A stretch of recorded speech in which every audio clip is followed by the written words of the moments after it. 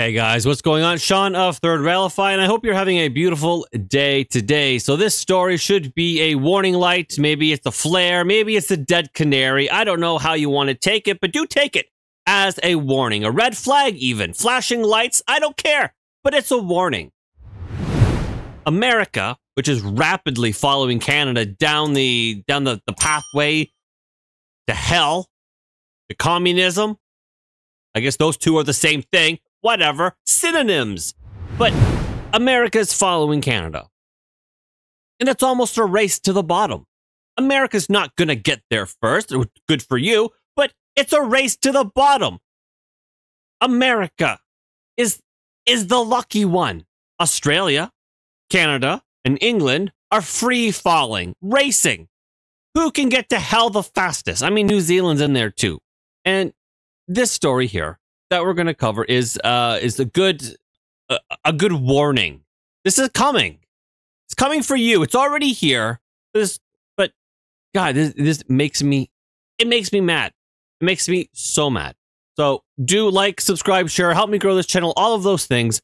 Most importantly, please, please, for the love of all that's holy, do follow me on Rumble. I mean, even if you choose to not follow me on YouTube, do follow me on Rumble. My my YouTube days are genuinely numbered. Do follow me on Rumble. That would uh that would that would that would make my day. It would. Also, I live stream there exclusively. So if you wanna if you wanna hilarious a hilarious live stream every Saturday night, that's where it is. My goodness. I've I've I've talked a long time. Let's let's talk about this trans identified male awarded $35,000 by an Ontario court after a woman's salon refused to wax her balls. Now, this Ontario court is the Ontario Human Rights Commission or whatever. They are famously woke, famously progressive, famous, famously, um, I don't know, wanting to bring in communism all the human rights commissions do that. They in Quebec, like every province has their own human rights commission and they're all kind of like intertwined or whatever. But the one in Quebec, as Steven Crowder has pointed out uh, a bunch of times, they went after a dude for telling a joke, a comedian for telling a joke. Eventually, in the Supreme Court, it got struck down and, and the comedian finally won but the process was very long, very arduous, spent a lot of money. These human rights councils, I mean, it's great to have human rights. Hooray, human rights. But what is a human right? Like, I think we've lost sight of what a right is. So, a Canadian court awarded a trans identified male who claims to be a woman $35,000 after an Ontario's uh, woman's salon refused to wax her her, right? Because she's obviously a woman. Her male genitalia. I mean, they they shouldn't have to do it. Right? They they shouldn't have to do that.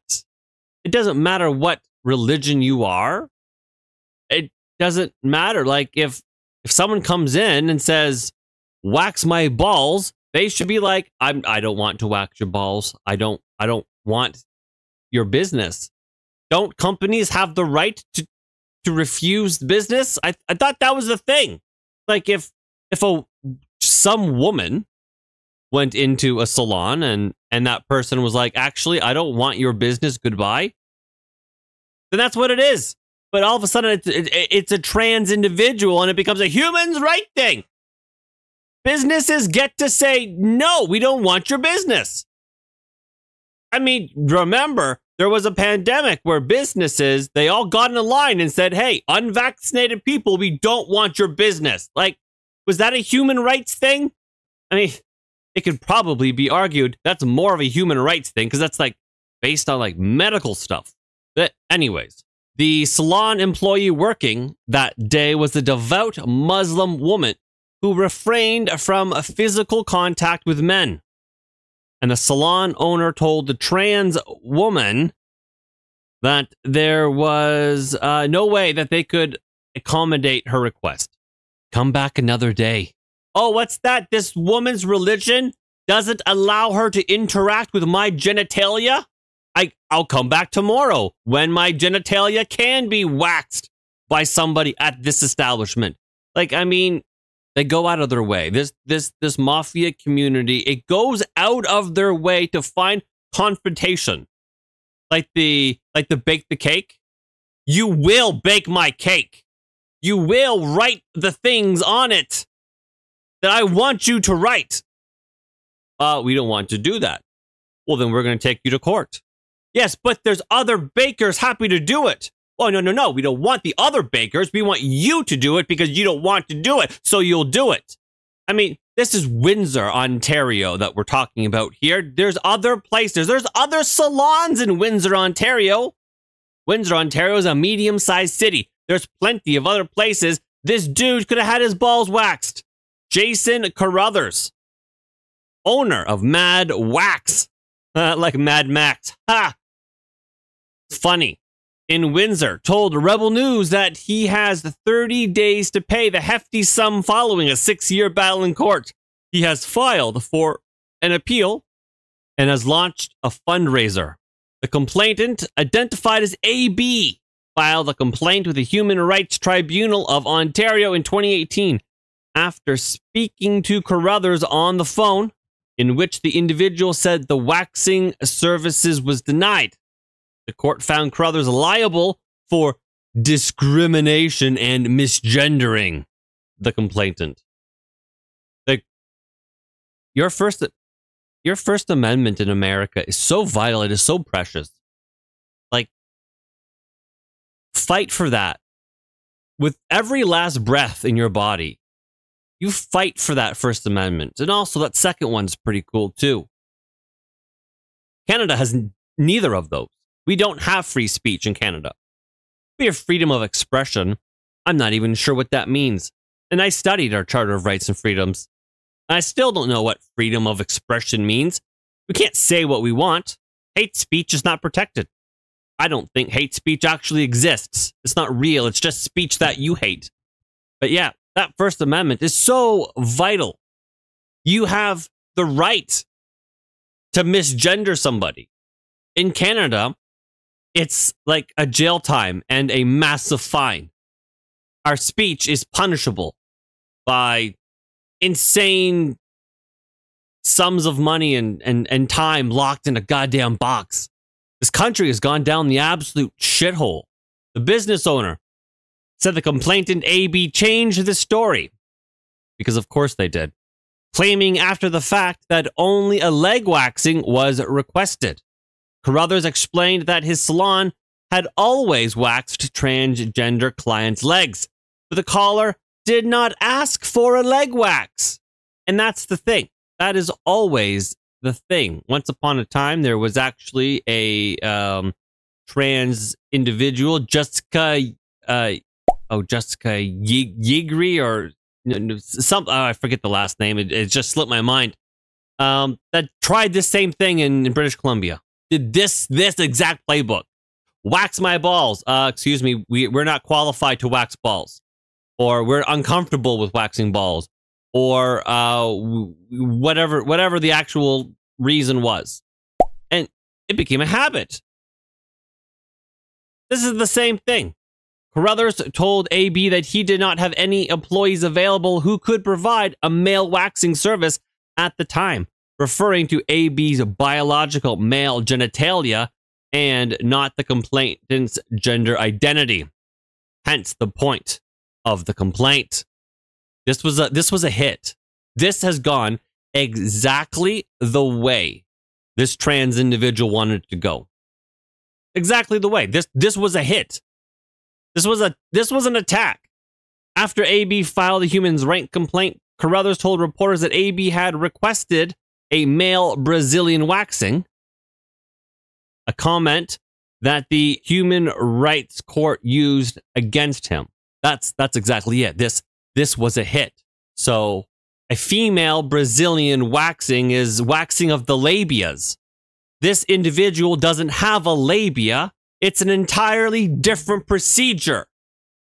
It's an entirely different thing.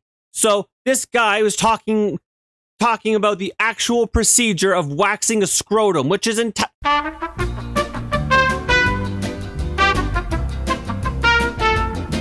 because he's using the correct services requested. The the human rights court was like, oh, "You said male Brazilian waxing. This woman with the scrotum is obviously a female. Well, I can't do a female waxing on this woman with a scrotum. I have to do the male waxing on the female with the scrotum. So, like, what what kind of bullshit is that? This was a hit. This was an obvious attack that this uh, business owner could not have won. Could not have won at all. They were always going to lose this. They're saying I discriminated against that person, but they're also saying that that I reprised when I spoke to the media. So those two things are factored into the amount. So you can't you can't talk to the media because that's that's reprisal, that's retaliation. You attacked that trans person by telling your story. Right, what? What? Everyone gets to have a side except the person who runs the business. Everyone gets to have a side except the person being attacked. Only the trans person gets to have a side. Carruthers' comments to the media reportedly traumatized uh, the AB, who claimed to the court that the incident had opened up a public conversation about the status of her physical transition. Right, trauma, trauma. They love trauma. Everything is trauma. Silence is violence. Violence is violence. Words are violence. Everything's trauma. What? I'm looking at every avenue to fight this legally, said Carruthers, who explained that the court has the power to seize his assets and garnish his income. The business owner's lawyer called the ruling deeply flawed and told the CBC, which is the the um, government media that's liberal. It's funny it is actually really funny that the CBC, the Canadian Broadcasting Corporation, is the government's mouthpiece when liberals are in office. But then the moment conservatives get into the office, you think the government mouthpiece would start saying what the conservative government would say. But no, all of a sudden they Freaky Friday and switch like a flip a switch. And all of a sudden they're like, the government's the worst thing ever but you've loved the government for the last eight years, nine years. What, what do you say? And they're like, that's because Justin Trudeau had good socks. You know what I mean? So, um, a male Brazilian waxing is what this guy wanted. That's what he wanted. I want this Muslim girl who can't touch men to wax my balls. The trans community, here's transgender. In uh in Reddit, they they go Ontario Human Rights Tribunal awards uh trans transgender woman denied leg waxing. So it's it wasn't a leg waxing, but they are a um they're lying because the the trans people lie. They fucking lie. They're liars. Top comment. It's a fucking leg wax. 100% dimis- uh, uh, discrimination. No, because they do leg waxing all the time. The owner said, "Yeah, we have no problem waxing waxing a man's leg and waxing a woman's leg are awfully similar. Awfully similar waxing labia and waxing scrotum vastly different. It's so different. Okay, because I don't think that there's a male leg waxing service versus a female leg waxing service. It, it's just a leg waxing service. It's the same thing. But a male Brazilian wax has to be different than a female Brazilian wax because a scrotum and a labia uh, they look nothing alike. In fact, I'm I don't know, ladies, any ladies that watch this that have taken is it cosmology? Is that the course? Is that the name of it? I don't know. If you know, it, tell me if, if there's like um maybe it's not a separate course to wax balls versus wax a box. Maybe it's maybe it's in the same waxing course. Maybe it's a different um module or well, I, I, this is how long I've been out of school. I don't know what things are called. Like a different section. It's got it's a whole. It's got to be a wholly different lesson. Anyways, this here Canadian misgendering laws. Canada has made several strides in protecting the rights of transgender and gender diverse individuals. Yes, too many strides. Here are some key developments and laws related to misgendering in Canada. Bill C-16 came in 2017. The federal bill added protections for gender identity and expression to, to the Canadian Human Rights Act and the Criminal Code, right? You know how I said that if you misgender someone or maybe you're a little mean, you're a little bit mean to a trans person, not even actually mean, but perceived mean, you are penalized by a great sum of money or you're put in a box. The bill prohibits discrimination based on gender identity and expression and makes it a hate crime to commit an offense motivated by bias, prejudice, or hate based on gender identity or expression. And that's either real or perceived.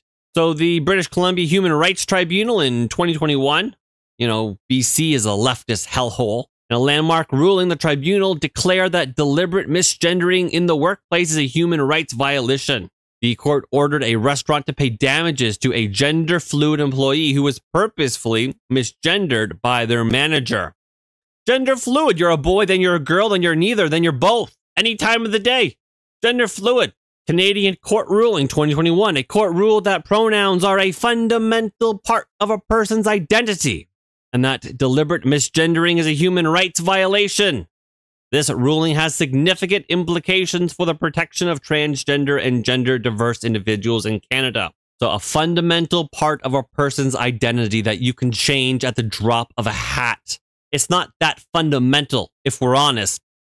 But the Canadian courts are. Imagine AOC, for my American friends here. Imagine AOC got to pick the judges on the court. Imagine that if you were to say, AOC, listen, I want you to you have nine seats, put nine judges on a court. She would pick the the most communist judges you could find. That's that's the Canadian court system. That's true. Uh, that's you might think that's some sort of crazy hyperbolic thing that I just did there. No, that's uh, that's a realistic example or analogy. It's realistic either way.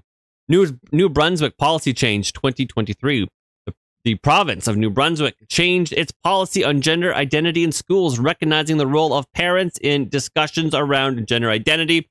However, this move was met with opposition from within the governing party and has sparked controversy. So, New Brunswick did it a reasonable thing.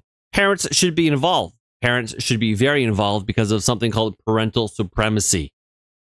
So, the key takeaways Misgendering is considered a human rights violation in Canada, and deliberate misgendering in the workplace can result in damages and legal action. The Canadian government has taken steps to protect the rights of transgender and gender diverse individuals, including Bill C 16 and the expansion of hate crime laws.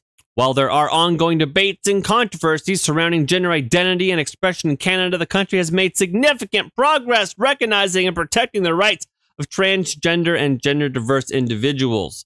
This all is the AI generated thing.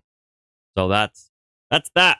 A trans identified individual was awarded $35,000 for our far left progressive Ontario human rights tribunals uh, after after um, they couldn't get their their their female girl balls waxed by a woman who her religion says can't do it because the transgender ideology supersedes everything. This woman, her Muslim religion says that she can't touch another man's balls or a man's balls. Doesn't that religion have some play involved in this? But no, it doesn't. They don't care because the, the trans ideology is the top dog.